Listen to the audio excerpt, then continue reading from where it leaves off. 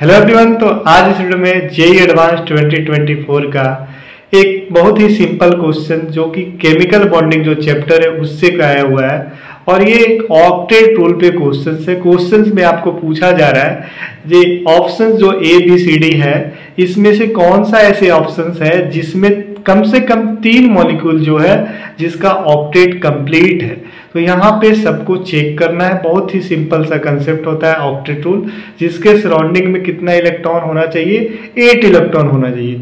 तो कौन कौन से मॉलिक्यूल है, जिसका ऑक्टेट कंप्लीट है, कम से कम तीन होना चाहिए? तो क्वेश्चंस को देखते हैं। इस बहुत ही सिंपल सा क्वेश्चन है।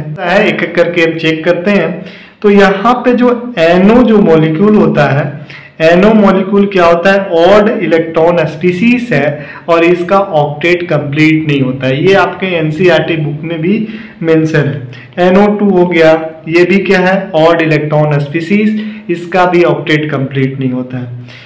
सल्फ़र H2SO4 का अगर बात करें H2SO4 तो यहाँ पे H2SO4 के सराउंडिंग में यहाँ पे एक्सपेंडेड ऑक्टेट मतलब एट से ज़्यादा इलेक्ट्रॉन है तो ये भी नहीं होगा। अगर हम बात करें, और भी क्या ऑप्शन है? B C L three B C L three जो होता है, ये बोरोन का कंपाउंड है और ये इलेक्ट्रॉन डेफिशिएंट होता है, और ये भी नहीं होगा। तो एक एक करके ऑप्शन को एलिमिनेट करके हम इस क्वेश्चन को कर सकते हैं। तो एनओ यहाँ पे नहीं है। यहाँ पे NO2 है और यहाँ पे H2SO4 है। लेकिन आपके पास कितना होना चाहिए? तीन मॉलिक्यूल होना चाहिए। तो बी ऑप्शन तो नहीं होगा।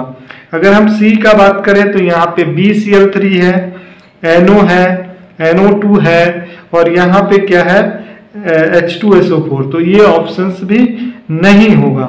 अगर आप बात करें, जो डी ऑप्शन है CO2 है BCl3 BCl3 का ऑक्टेट कंप्लीट नहीं है, बाकी सबका यहाँ पे कंप्लीट है।